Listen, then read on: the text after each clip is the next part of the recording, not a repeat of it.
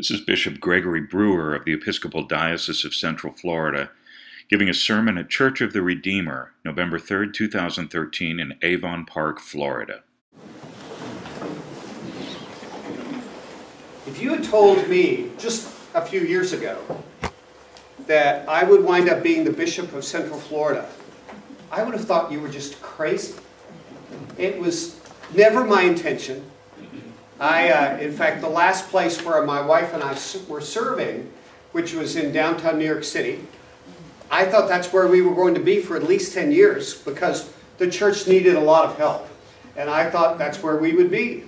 I'd gotten my start down here, came down here as a very green 24-year-old who just straight out of seminary, didn't know a darn thing. I looked like a child in a clerical collar. And I thought, okay, this is it. We're, I'm coming to Central Florida. This is where I'm going to be.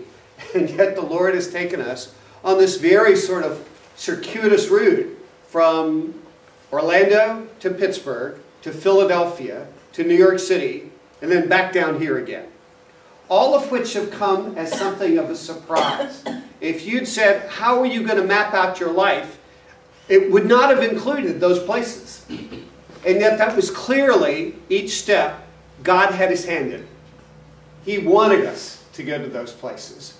And when the call came to be asked to allow my name to go forward, at first Larley and I both were like, well, no, we're supposed to be here. We'd only been there a little more than two years.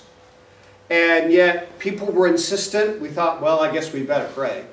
And so we started to pray. I started asking different people, especially bishops, what do you think? Every single one of them said, well, of course you need to allow your name to go in. You don't say no to something like that. And as the cliche goes, the rest is history.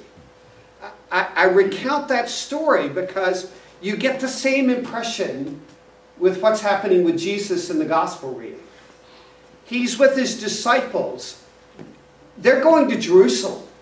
That's the whole thrust, the whole focus. Jesus only intends, it seems, to pass through. He entered Jerusalem and was passing through it. In other words, I'm only getting through here. I'm not spending the night. And yet what happens is, as is often the case in the ministry of Jesus, a human need appears and God says, stop for this one. And that's what happens. Jesus is passing through Jerusalem. There is an enormous crowd, and understandably so, because before he even gets into, into Jericho, there are these blind beggars. They see miracles are happening here. And so the crowd is enormous as he gets into the city, the walled city, old city of Jerusalem, of Jer Jericho, sorry. And so here's Zacchaeus. Zacchaeus wants to see Jesus. Zacchaeus is probably about this tall. He can't see for the crowd, but he must have been pretty athletic because he climbed a sycamore tree to try to see who this man Jesus was. No doubt he had heard the miracle stories. No doubt something important was going on. Nobody attracts crowds the way Jesus did. And so Jesus sees him up in the tree. Not exactly the place where you would expect to see a man of wealth and distinction. And so that caught Jesus' eye. It's not dissimilar to the story that Jesus tells when he tells the story of the prodigal son. Remember at the end, when the prodigal is coming back home to his father's estate, it says that his father literally picks up his robes and runs to meet him. That would have been a shock to his audience for Jesus to tell that because wealthy old men did not run. That was considered improper, even if you could physically do it. Your servants ran for you. You did not run. Well, the same thing here. A person of distinction, a man who is rich because of who he is as a tax collector, doesn't climb trees to see who this latest celebrity is here in town. Jesus notices that, and he comes up to him. Apparently, this is a part of God's divine plan because he walks right up to Zacchaeus and he says, Zacchaeus, I'm going to stay in your house tonight. In fact, it's actually even more open-ended. This It says, I must stay with you. And the implication of the word is, I'm going to come and be your house guest for a while. He doesn't say just for the evening. Everybody is shocked that Jesus would do that. Because you see, tax collectors were considered extortionists, handpicked by the Romans to collect taxes for the Romans. They weren't given a salary because they could set whatever price they wanted in terms of what they felt like somebody could give. And then they gave what was required of them, and then they kept the balance. They were extortionists. So nobody expected this betrayer of Israel who collaborated with the pagan Roman government, who was an extortionist to boot, to be the person in all of Jericho where Rabbi Jesus, who performs miracles, would come and stay under his house. To eat and spend the night with someone is to present yourself as a collaborator, as someone who, in fact, approves of what's going on in that household. So they're, they are horrified. But Jesus sees something in Zacchaeus that they don't see. What Jesus sees in Zacchaeus is a heart that is longing to know the one whom Jesus represents, the very God of Israel. And that's what we see in Zacchaeus' reaction. We don't know what transpired in that moment between G Jesus and Zacchaeus. But he climbed the tree, a notorious extortioner, and came down from the tree, a humble and generous man who clearly would never extort people again. See what happens? When Zacchaeus hurries down, it says he was happy to welcome him. That's actually not quite accurate. Happy actually is like saying you haven't seen somebody for 20 years, but you're happy to see them. No. If there's someone you love dearly, you are overjoyed. And that's really what the Greek means. When he hurries down, he's excited beyond measure. He is rejoicing. He is, in fact, the word in the Greek is the same word for how the shepherds respond to the message of the angels at the nativity story of Jesus. they can't wait to get there. He is thrilled. The people grumble. He's gone to be the guest of one who is a sinner. Remember, the notorious extortioner. But Zacchaeus knows the grumbling. He knows his reputation in town better than anyone. And notice what Zacchaeus says. Look, in other words, pay attention. I'm about to change your mind about who you think I am. Something has happened inside of me I cannot explain. Half of my possessions, Lord, I will give to the poor. When did you hear a conversion story where that was the result? In other words, this is a shocker for his listeners.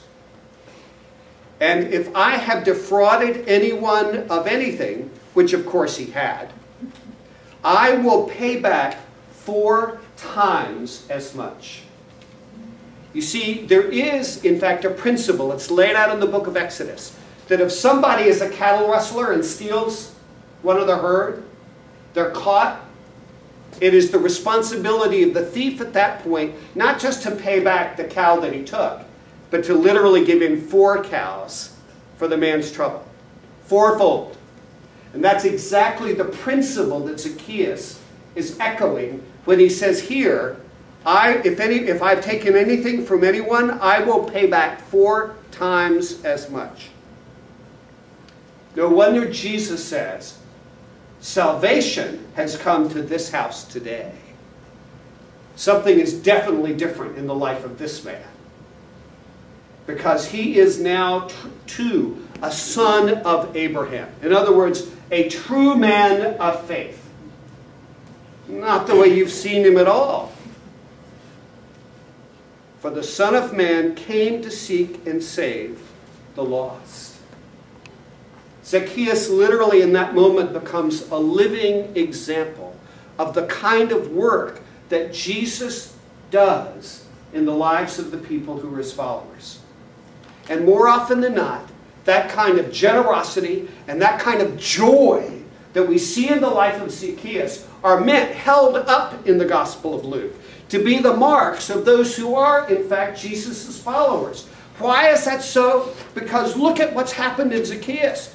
He was an outcast. He may have been rich, but the way he got his money was entirely dishonest. He was isolated. All kinds of. Jesus broke in and changed everything. Everything about the life of that man. No wonder he is overjoyed. There's something more here going on than the kindness of Jesus wanting to be the guest of Zacchaeus' home. A heart change has happened in Zacchaeus. And the fruit of that heart change is both the joy and the generosity.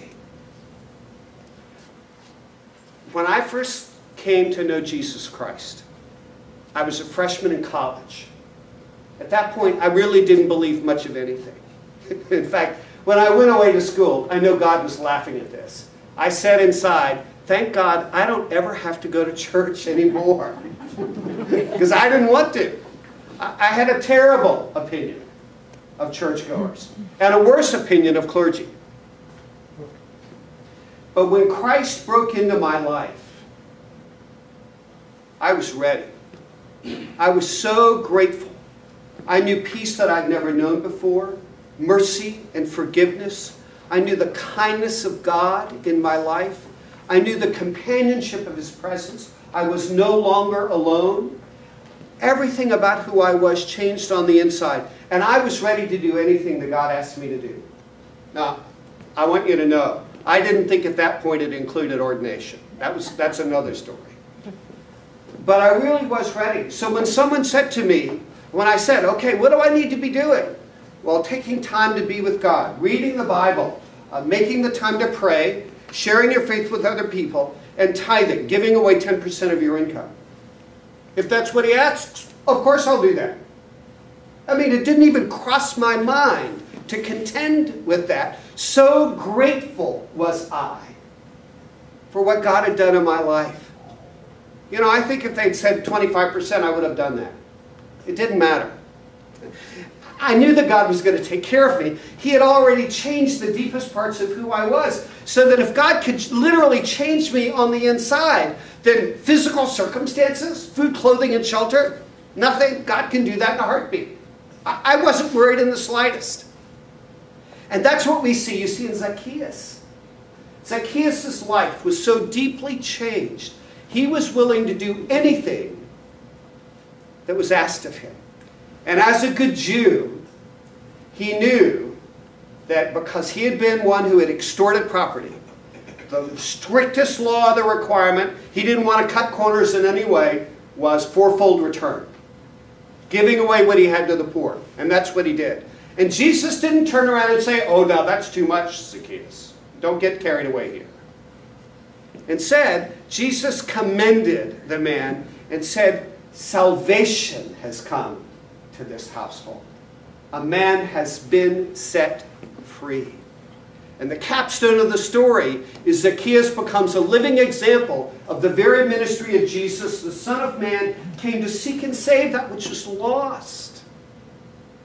And the evidence clearly of being found is this kind of joy and this kind of generosity. The good news is Jesus does not say the Son of Man used to come to seek and save that which was lost. No, actually, the tense of the verb is this is why I am here.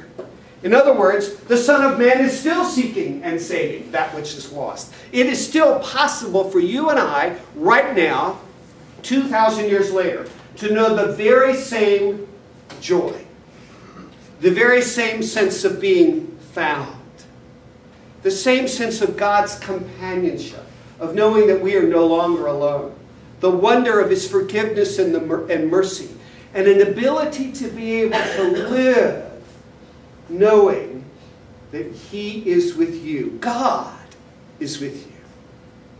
and that he will never leave you or forsake you.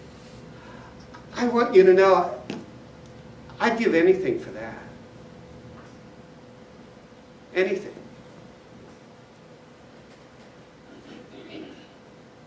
Do you know that in your life? Do you know that kind of joy? Do you know that sense of God's companionship? Do you know that He will never leave you or forsake you? And that He has come and found you personally, individually, that He knows your name. That's the message of this story. That God cares enough, not just for Zacchaeus, but for each one of us. And that we can know that same sense of the wonder of his companionship, the depths of his faithfulness. You know what it takes? It's real simple. Number one, know that he's seeking you. He's not just seeking good people. Zacchaeus is an example that he wasn't just seeking after good people. So that no matter where you are or what you have done, he is seeking you. There is nothing that disqualifies you from the mercy and the forgiveness of Jesus Christ. And then in saying yes to his seeking you, the willingness to open all of who you are to him, regardless of what that is your heart, your mind, your finances, your social arrangements, your business, your relationships, everything. Nothing gets off limits. He is, in fact, Lord. And to say, Lord, all of who I am is yours. I'll give away anything if it means your companionship. And He, in fact, will pour out that companionship on you and use you as a channel of His love, His mercy, and His generosity to others. A life that is filled with incredible adventure as God begins to use you to touch the lives of other people. You have a whole new purpose. It's a purpose to serve and to bless and to give. Knowing God pouring through you all of those wonderful, rich blessings. That's the message of Zacchaeus. So today's sermon really is an invitation. An invitation to say yes to that companionship, to that generosity, to that willingness to be used by God, that sense of His forgiveness and His mercy.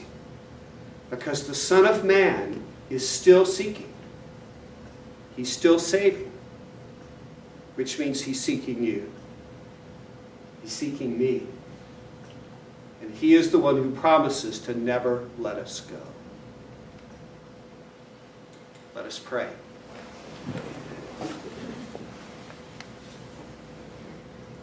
Lord, I thank you as we have prayed, you are here. And you are still seeking here. And you are still saving here. So, O oh Lord, I pray for anyone in this room who feels your tug. I pray that you would give them the grace and the mercy to yield, to say yes to you, and to hear the overjoyed invitation to come and be one of yours. Not just to sit in a chair, but to literally be one of your followers who says yes to you and becomes a channel of blessing for others.